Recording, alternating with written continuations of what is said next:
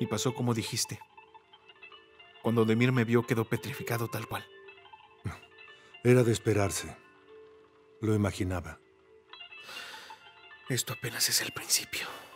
Ahijado, no nos vamos a apresurar. ¿De qué hablas? ¿No hay que apresurarnos?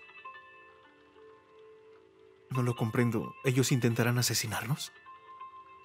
No, eso jamás va a pasar. No se los vamos a permitir.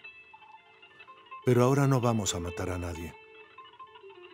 Y no responderemos al atentado que cometió Demir. Padrino, yo te lo prometí. No voy a dejar al hijo de Demir sin su padre. Y lo voy a cumplir, no te preocupes. Pero eso no significa que Demir se vaya a salir con la suya, padrino. Así es como se habla, mi querido Yilmaz. Eres el vivo ejemplo de tu padrino, ahijado. No vamos a dejar que Demir se salga con la suya. Va a recibir el castigo que se merece. Pero con cuidado.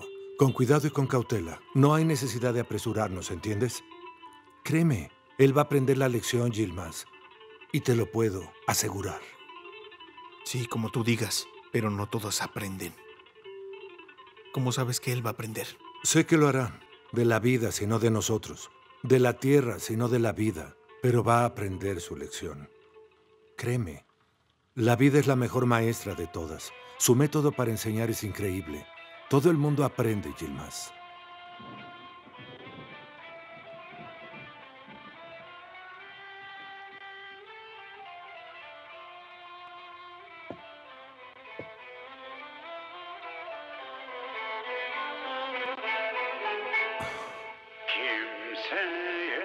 ¿Sabes de quién es esa voz?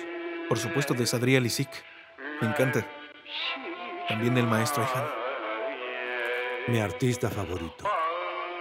Tiene una voz increíble.